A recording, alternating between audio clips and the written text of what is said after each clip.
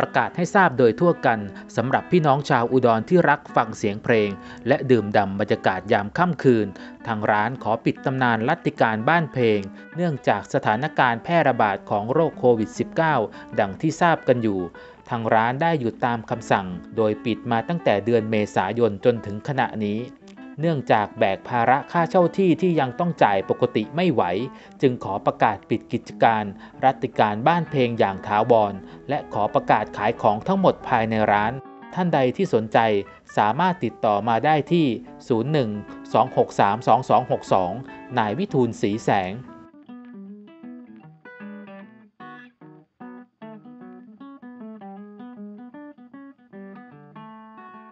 ติดลบพอมาถึงเมษาก็โดนสั่งปิด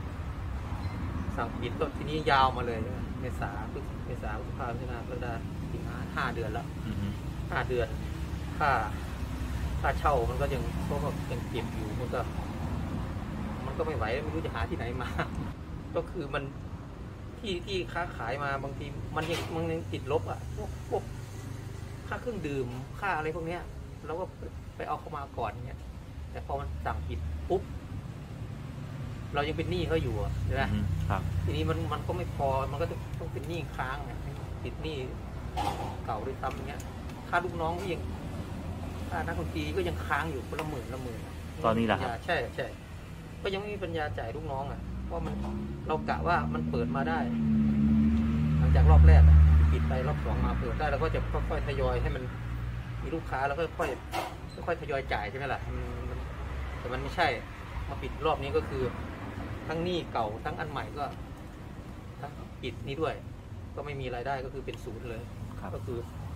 ค่าเช่าอีก มันก็ไม่ไหวแหละมันก็เป็นแบบไม่ไหว แล้วก็ไม่รู้ว่าอนาคตมันจะ จะได้เปิดอีกเมื่อไหร่ใช่ไหมได้เปิดอีกเมื่อไหร่หรือพอเปิดมามันจะ มันจะดีไหมคนเขาจะเที่ยวไหมหรือเขาจะใช้ชีวิตเหมือนเดิมไหมอย่างเงี้ย ครับ มันก็มองมันก็มองภาพไม่ออกยังยังมองหาภาพไม่เจอ ก็ก็คิดได้ก็คือทางที่ดีก็คือก็หยุดหยุดปิดไว้ก่อนตั้งหลักครับดูสถานการณ์ช่วงที่มันหยุดไปแล้วก็หาอะไรที่มันจะพอเลี้ยงครอบครัวได้แค่นั้นเองส่วนข้าวของนี่ก็